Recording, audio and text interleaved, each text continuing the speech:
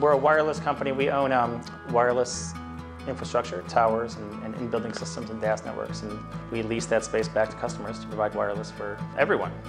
We were able to meet our cycle times and, and, and meet our expectations for our customers. We always have been, but we knew that we were putting more work into it than we should. Really being able to, to pick up on, on where we can improve was what I feel like was our, our biggest challenge. Really the optimization is key. You know, on top of everything else that we asked these guys to do, we're saying, hey, every day when you wake up, you've got to spend an hour, or two hours figuring out what to do that day. Looking at, a, at your map or knowing in your mind where things are and trying to prioritize those. And, and, we're taking people away from doing what is valuable work for us, you know, really contributing to, to our success.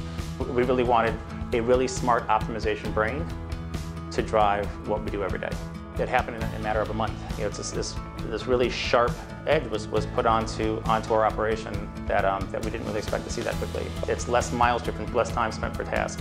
We were really, really heavily dependent on, on the insight from really just a handful of, of folks at Click. Anytime that there wasn't an easy answer, an easy way to get to where we wanted to be, it was just a couple of phone calls and, and, and bringing somebody else in and tying someone else in to figure out a, another way to work around it.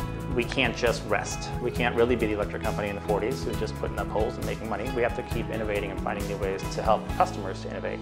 Now that we know what the system can do and what it's capable of and, and the value it can bring, it's going to grow as far as our number of users and, and, and the way we implement it and bringing in contractors and all those things.